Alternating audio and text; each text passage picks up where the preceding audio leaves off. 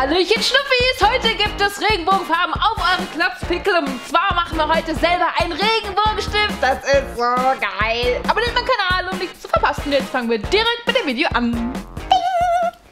Ihr braucht erstmal diese Neonstifte bzw. diese Textmarker. Ich habe jetzt hier einen kleinen gelben, schmalen Textmarker genommen, aber es ist besser, wenn ihr diese dicken, fetten Textmarker nehmt. Ihr nehmt jetzt einfach einen rosanen Stift und den drückt ihr auf den gelben Stift ein bisschen drauf, aber nicht über die ganze Spitze, sondern nur an einer Seite. Und dann seht ihr schon, der gelbe Stift saugt sich jetzt mit der rosanen Farbe etwas voll. Und dann mache ich das Ganze auch noch mit einem grünen Stift. So, schön dran drücken. Und ich lasse auch noch ein bisschen Platz, damit die gelbe Farbe auch noch hervorkommt. Sonst malt ihr die zu. Und jetzt nehme ich auch noch einen blauen Stift, weil ich will ja Regenbogenfarben. Wie gesagt, nehmt die dicken Stifte, da funktioniert das richtig gut. Meiner ist halt ein bisschen klein, aber ja, zum Zeigen lang. Ich kann hier jetzt einen Regenbogen malen oder irgendwas schreiben. Total bunt sieht das Ganze aus.